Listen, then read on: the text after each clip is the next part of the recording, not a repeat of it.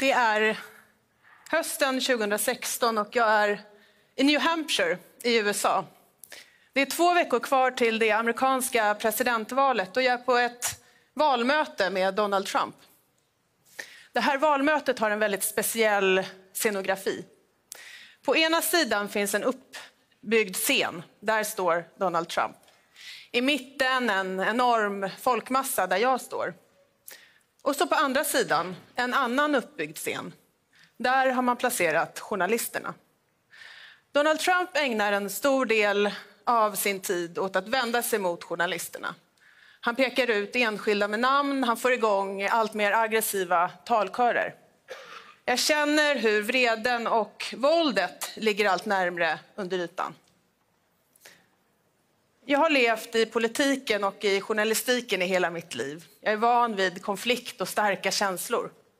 Men det här var någonting nytt och jag blev rädd. Var kommer den där vreden ifrån? Det har jag funderat på de senaste två åren. Kommer ni ihåg 90-talet? Det här var löftet som internet och den nya tekniken bar med sig. Det här är omslaget på teknikmagasinet Wired från 1997. The long boom. We're facing 25 years of prosperity, freedom and a better environment for the whole world. Do you have a problem with that? Jag var en, som verkligen, en av dem som verkligen trodde på det här. Det här är samma tidningsomslag från i våras. The internet is broken. Internet är trasigt. Vad var det som hände? Och hur hänger utvecklingen ihop med det jag upplevde på det där valmötet med Trump? Låt oss fundera över exemplet Youtube. För lite mindre än ett år sedan så inträffade skolmassakern i Parkland i Florida när 17 barn och vuxna sköts till döds. Strax efter skolskjutningen lyftes en film upp, högst upp i Youtubes eget rekommendationsfält. Filmen hävdade att en av eleverna som överlevde, David Hogg, i själva verket var en skådespelare och att allt var lögn. I Tyskland rasade i höstas högerextrema kravaller i staden Chemnitz efter att en man blivit dödad i ett knivslagsmål. Många av de som deltog i kravallerna var övertygade om att de rasistiska lögner som de hade hört om den här händelsen var sanna.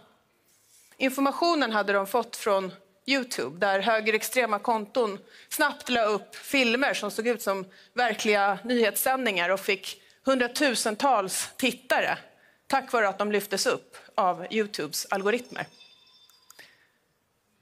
Youtube skapades med en vision om att bli en tv-kanal för alla. En fantastisk demokratisk idé. Istället har plattformen idag blivit en, en av världens mest kraftfulla maskiner för radikalisering som teknikforskaren Zeynep Tufekci har uttryckt saken. För att förstå hur det gick till måste vi förstå hur Youtube tjänar sina pengar. Så här fungerar Youtube och Facebooks affärsmodell. Ju längre du stannar på deras plattform, desto mer data ger du ifrån dig. Desto bättre annonser kan de sen sälja tillbaka till dig. Det som får dig att stanna, det är engagemang. Problemet, och det här är nyckeln, problemet är att det som väcker vårt engagemang, det är inte nyanser, sanning eller resonemang. Det är vrede och starka känslor. Man kan sammanfatta det så här.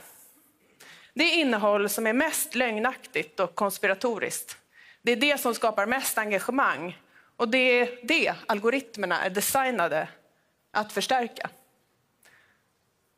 Vår nya offentlighet är en vinstmaskin och valutan är vår vrede. Sociala medier existerar inte i ett vakuum. Tekniken samspelar med och förstärker de problem som redan finns i våra samhällen. Exploderande ojämlikheter, rasism, utanförskap, migrationsströmmar. Och tekniken används av auktoritära ledare runt om i hela världen. Putin, Erdogan, Orbán och Duterte. En sorts antidemokratiska ledare som inte kommer till makten eller behåller den med hjälp av våld utan genom att skickligt utnyttja sociala medier för övervakning, manipulation, propaganda. Det här är inget som bara händer i andra delar av världen långt bort. Sverige var i den senaste valrörelsen det land i världen som hade näst högst andel fake news. Vi vet att det pågår ständiga försök att undergräva tilliten och demokratin också i vår del av världen.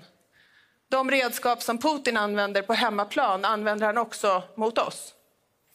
Sanningen utmanas även här och vår beredskap är svag. I Skandinavien är vi vana vid en hög nivå av tillit och en låg nivå på konflikt. Vår samhällsmodell bygger på kompromisser och samtal. Men frågan är om den håller för en offentlighet som förstärker precis det som istället driver oss isär. Ilskan och lögnen. Vi bidrar alla till den här utvecklingen med vår data, våra pengar, vår tid. Därför har vi också alla ett ansvar. Som medborgare måste vi börja förstå att det vi läser och delar också kan vara lögn och propaganda. Journalistiken måste förstå det nya landskapet. Idag förstärker vi allt för ofta ilskan i sociala medier istället för att motverka den. Fria medier och företag som Schibsted, som jag jobbar för, spelar en extremt viktig roll i den tid som nu kommer och vi lovar att försöka göra vårt. Men politiken måste börja engagera sig. Det krävs nya idéer när det gäller data, integritet, skatter och inte minst ansvarsutkrävande av plattformsföretagen. Vi kan inte överlåta vår demokratiska infrastruktur åt Silicon Valley. Slutligen, här inne sitter Norges viktigaste näringslivsföreträdare. Era företag har stora marknadsföringsbudgetar. Det är i slutändan reklamköp på Facebook och Youtube som driver den här maskinen. Och jag har en fråga till er.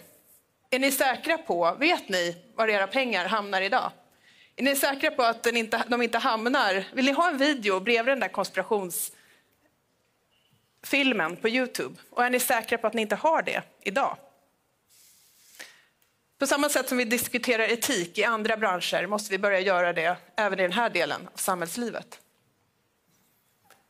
Det här är min arga, underbara dotter Eva, för att tala om en vredesmaskin. Hon är, hon är sju år gammal och hon är, ger mig en utskällning varje dag för att hon inte får titta på Youtube längre. Det är hon och hennes generation som kommer att få leva med konsekvenserna av den här vredesmaskinen, den här stora vredesmaskinen, om vi inte lyckas reparera den. Och om jag vill lämna er med en tanke, en enda tanke, så är det det här. Tekniken är människans skapelse. Om den inte tjänar oss väl så måste vi försöka reparera den. För det är som vanligt ingen annan som kommer fixa det åt oss. Tack.